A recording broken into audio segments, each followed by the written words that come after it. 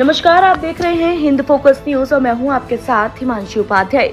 दयालबाग पूजा समिति ने खाटू श्याम का प्रोग्राम करवाया, जिसमें समिति के सदस्य त्रिपुरारी कुमार सिंह, विनोद नेगी, अजय सिंह, संतोष शर्मा, जसवीर नेगी, अमित शर्मा, पी के श्रीवास्तव, गिरीनेश सिंह, सत्येंद्र सिंह, अनिश सिंह, निशांत सिंह, विक्रम सिंह राठौर, छत्रपाल बसुया, मनोज चौधरी ने विजय प्रताप कांग्रेस नेता और पूर्व पार्षद जितेंद्र भड़ाना का गर्म जोशी से स्वागत किया और खाटू श्याम के भजनों का शुभारंभ किया।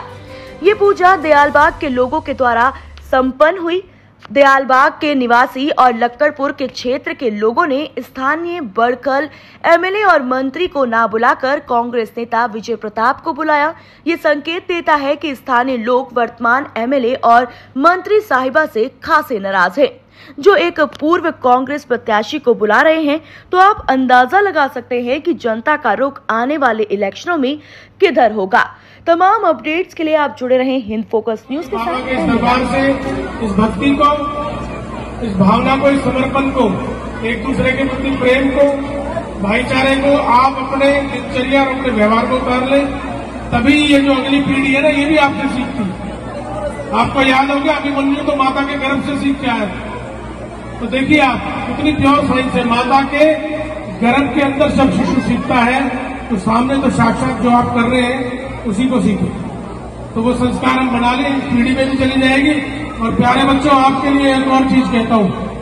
कि भगवान की पूजा कर रहे हो ना? लेकिन भगवान ने क्या कहा? भगवान राम जब धरती पर आए, क्या किया उन्होंने? उन्होंने अपने पिता की आज्ञा के लिए चौदह साल का वनवास किया। तो क्या आपके लिए उससे क्या सीख है?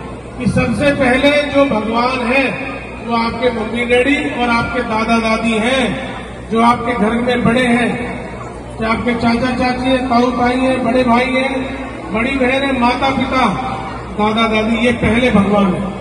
जो अपने बड़ों का भगवान की तरह मानकर उनकी सेवा करता उनके कहने को मानता और अपने गुरु, टीचर आपने इतिहास देख लो, हमेशा दुनिया में वही लोग महान बने। तो बनोगे महान? माता पिता की आज्ञा टीचर की आज्ञा भगवान की। तो ये ज्ञान बिना जग सुना तो क्या मथुरा, क्या काशी? आत्मज्ञान वो है जिसे हम आत्म आत्मसात कर ले, अपने दिनचर्या, अपने संस्कार में शामिल कर। जैसे छोटे छोटे बच्चे बैठे ना, बड़े इनको संस्कार देते हैं कि बड़ों का सम्मान करो, उनके चरण छुओ, नमस्ते करो, उनको कहना मानो। ये संस्कार है तो ऐसी बड़ों के लिए भी संस्कार। कि जो भी अच्छी चीज़ें हैं आज हम बाबा के दरबार में आए हैं जब तक अगर हम इसको आत्मसात नहीं करेंगे कबीरदास जी ने कहा उस, उसके अलावा धोता ज्ञान किताबी। असली ज्ञान उसे जानिए जो आदमी अपने व्यवहार में उतार ले। तो मैं इतना ही कहना चाहूँगा कि बाबा के इस दरबार से इस भक्ति को इस भावना को इस समर्पण को एक दूसरे के प्रति प्रेम को भाईचारे को आप अपने दिनचर्या और अपने व्यवहार को उतार लें तभी ये जो अगली पीढ़ी है ना ये भी आपसे सीखती है। सोच समझ के दो कि जो आपके और आपके बच्चों के भविष्य के लिए काम कर सकता है। मैं पुनः आप सभी का शानदार आयोजन के लिए बहुत बहुत आभार व्यक्त करता हूँ। धन्यवाद करता हूँ और बाबा खाटू साहब जी को प्रार्थना करता हूँ कि उनकी कृपा हम सब पर बनी रहे। जय बाबा बहुत बहुत धन्यवाद। भाई साहब ने इस टीम के लिए इक्कीस हज़ार रुपये अपने निजी कमाई से इक्कीस हज़ार रुपये दिए भाई साहब का ताली बजा के अभिनंदन करें, धन्यवाद करें। और भाई साहब ने सारी बातें बताई दी हैं। तो भैया, समय आ रहा है। दस साल के अंदर जो भाजपा के विधायक ने किया, उसका हिसाब उससे कर देना। पिछले दस साल में जो इन्होंने किया था, अगर वो उससे ज़्यादा हो तो इन्हें दे देना।